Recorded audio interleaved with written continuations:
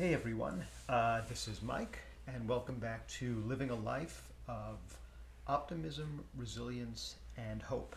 Today we're going to talk about what happens when what you have in your quality world doesn't match the real world. Um, this is a big issue. We have dreams, we have hopes, we have things that we want, and it doesn't match what's going on in the real world. And that causes us some discomfort, or pain, or sadness, depression. Uh, or sometimes we had something, we thought we had it, and we lost it. Uh, we had that relationship, and it's no longer there.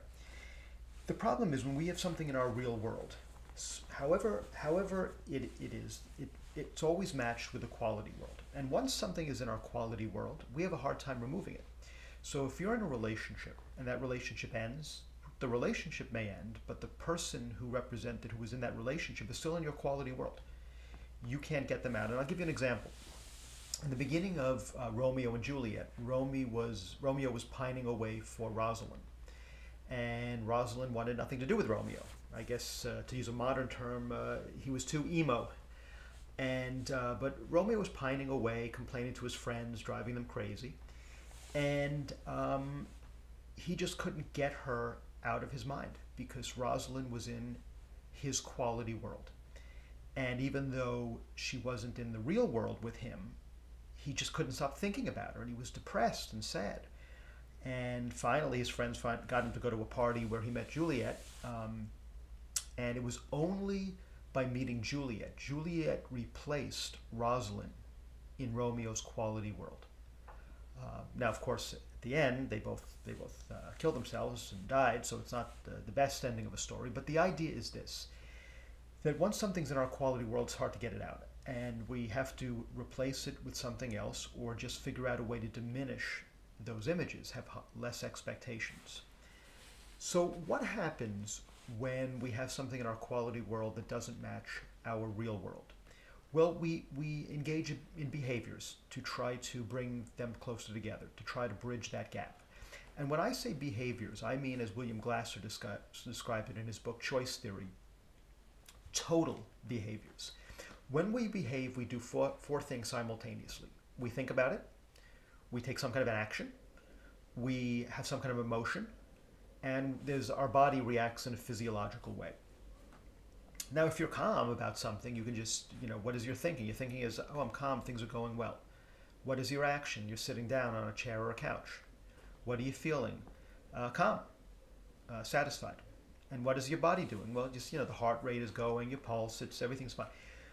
When you're upset, what is your behavior? Well, you're thinking, I can't believe this is happening to me. This is the worst thing in the world.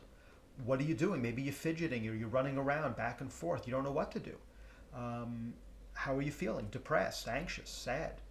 And what is your body doing? Your heart rate may be beating a mile a minute. So all four things are going on at the same time. So when we have this discrepancy between what's in our quality world and what's in our real world, that gap, that discrepancy causes us some discomfort, it causes us some pain, some sadness, some anxiety, some depression, some stress, some anger, and we are then motivated to do something to fix it to get the real world more in line with our quality world. Now, in the case of Romeo and Juliet, in Romeo, what was he doing uh, when having Rosalind in his quality world was not matching the real world? Well, he was choosing to depress. He was thinking, oh, how sad he is, how lonely, I miss Rosalind. What was he doing? Whining, pining away, you know, being by himself, maybe uh, complaining to his friends. Okay, how is he feeling? Depressed, sad. Um, you know, and his and his body he probably just was very lethargic. His you know he was very down. You know maybe his uh, pulse maybe he could barely get a, a, pulse, or maybe when you when he thought of her, his pulse was going a mile a minute. So there was four things going on with Romeo. So was that effective or ineffective behavior? He was behaving. He was doing four things. Was that effective or ineffective? Most of us would think it was ineffective. Pining away, complaining to your friends, roaming around, saying, poor me, I, there's nothing I can do, feeling down. Those are not the most effective ways of responding to this discrepancy between what was in his quality world and what he wanted in his real world. What would have been more effective? Well, going out and meeting people. Uh, eventually, his friends got him to go to that party where he met Juliet. But going out, doing something, being with your friends, talking, having a good time, trying to have a good time, uh, maybe thinking more positive thoughts, going for a walk and appreciating the beauty uh, or nature, playing with your dog, reading a good book. Um, you know, th- those are those are thoughts and behaviors that will lead to more effective emotions. Now think of it as a front wheel drive car. The front wheels are your thoughts and behaviors because those are the ones you have most control over. And your back wheels are your feelings and your physiology. Those follow. Those follow the front wheels. It's hard for us to directly control our emotions or our physiology. But based on what we do, you know, you want to get the heart rate up, run. You take an action, go for go for a run. Your heart rate's going to go up. Um, you want to feel depressed, start thinking terrible thoughts about yourself and about the world. So we have more direct control over our thoughts and actions than we do over our feelings and physiology. But the good thing is, it's much easier to change. We can change our thoughts. We can think more positively. We can think more rationally. That's what cognitive behavioral therapy is all about. We can change our cognitions and we can change our behaviors to make them more effective. And that's really what it is. It's not about a good or bad behavior or thought. thought. It's about what is effective or ineffective. What helps us achieve our goal or pushes us further away. So, what I'd like you to do is when things are going wrong, uh, when your quality world does not match the real world, what are some um, what are some feelings that you have? Is it sadness? Is it anger? Maybe pick an example. Obviously, the feelings are different depending on what the mismatch is. Um, but what, what are some of your feelings? Sadness, depression, loneliness, um, you know, calmness, happiness, um, anger, stress, um, you know. Uh, so just think about what your feelings are. Okay. Then what are your physical symptoms? Do you get a headache? Does your stomach get upset? Do you clench your jaw? Um, is your you feel like you're going to have a, a, heart attack? Or you panicking? Have anxiety and panic attack? Maybe um, your, your pulse rate, your, your heart, maybe your blood pressure goes down. You feel like you're going to faint. Um, so, what are your feelings and what are your physiological reactions? Um, just using an example. All right, then, what do you do to solve that problem?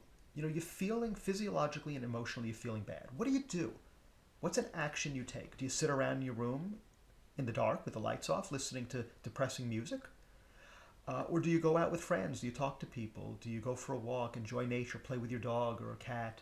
Um, maybe paint, listen to music. What do you do? And then the last thing is what type of thoughts do you have? Are you thinking, oh, I'm so bad, I'm a terrible person, no one will love me, I'm unlovable? Or do you think, look, this will pass, everybody goes through this, I'm still a good person, I'm smart, I've got good things going for me, um, I'm loyal, uh, you know, there's, there's plenty of fish in the sea, it's not just one person. So I want you to think about what you do and what you think. Um, when your quality world does not match the real world and you're having those sad feelings and maybe some physiological or bodily responses.